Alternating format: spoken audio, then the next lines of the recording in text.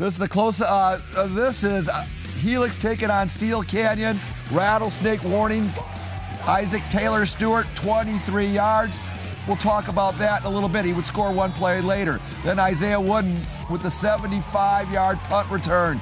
Two point conversion is good. And the Scotties, you know, they started the season as number one, and maybe they want to be number one again, 14 0. Carson Baker, another great quarterback in the county, finds Wooden, 11 yard touchdown. Wooden had a big night, a 64 yard punt return to go with that other punt return. Two punt returns for a touchdown. Good teams have good special teams. Helix is a good team. And Delshawn Trailer from 20 yards out. This one over pretty early as Helix goes on to win by a 41 to 7 margin. We had to Madison.